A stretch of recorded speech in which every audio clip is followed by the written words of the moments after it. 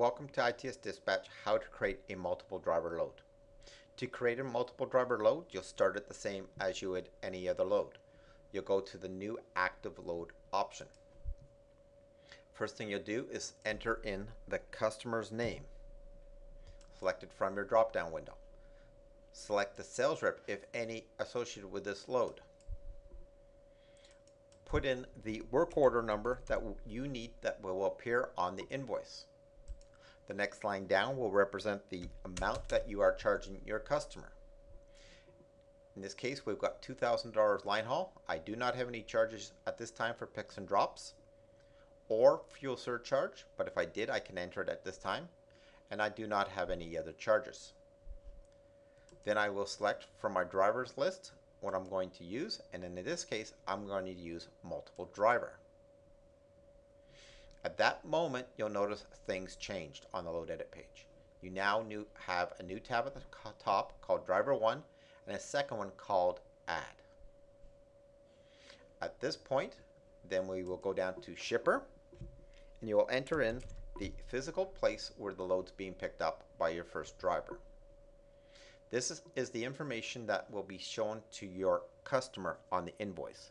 The information that is on both driver 1 and driver 2 tabs will not be transposed to your customer's invoice. We'll enter in the description and also the type of load. In this case, it's a truckload. Quantity 1.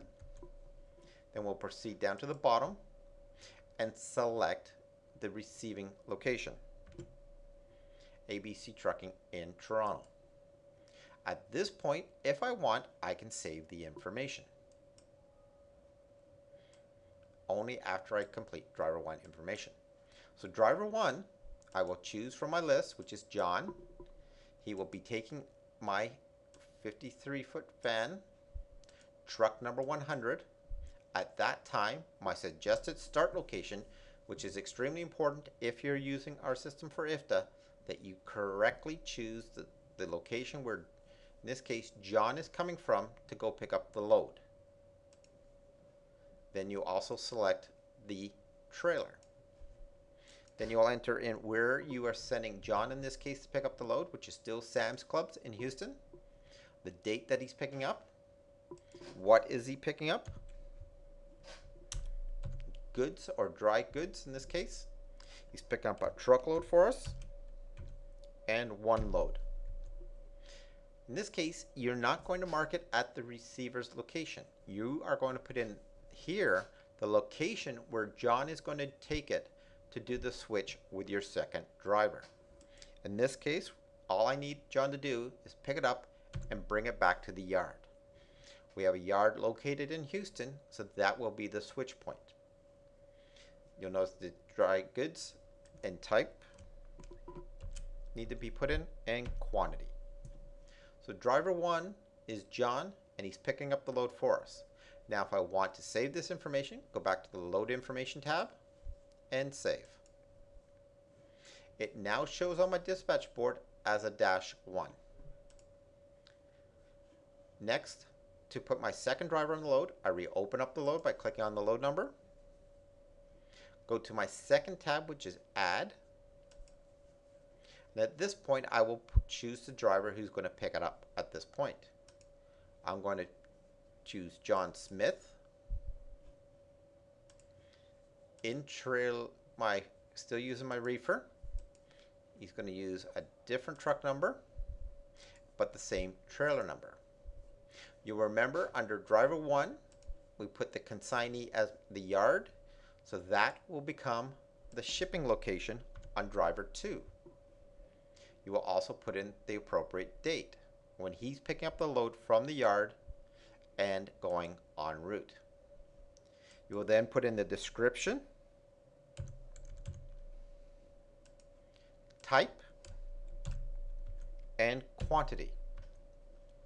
Then you will come down to consignee. Consignee in this case will be the final destination. You can either tab back to the load information unless you do remember but I do in this case. It's ABC out of trucking. It'll populate the location. You select the appropriate date for delivery. put in the description.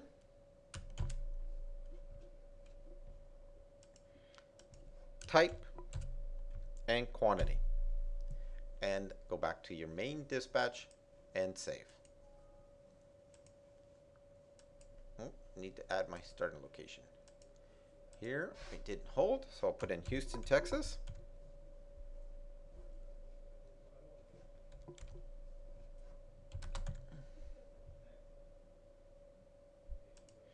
and I needed to save it and do the same thing for driver 2. If you are mi missing any information within ITS dispatch, the pop-ups will assist you in informing you what is missing. And save. Now, if I need to create a dispatch for my drivers, I can go into the load at any given time, click on the driver 1 tab, and select the print function in the bottom right hand corner. This will create a driver dispatch for this part of the leg. So in this case, I hit print and open and it will only show the pickup from Sam's Club to my yard in Houston. That's all John Manning is doing. On the other hand, if I go to driver 2 tab, I can do the same thing. Select my print. Again, open and this will give my John Smith driver his information. He's picking up the load from our yard and delivering it to the consignee. Okay, if you need to mark the number of miles either driver is doing, don't forget to always use your calculator. This will calculate the number of miles from pickup to delivery. This will be good for your IFTA miles. If you do pay your drivers by the mile, do not forget to enter this information into the driver mile box. And then once everything's been entered, don't forget to always save the information. You progress through the status update as normal, and that's all there is to adding a multiple driver load into your system.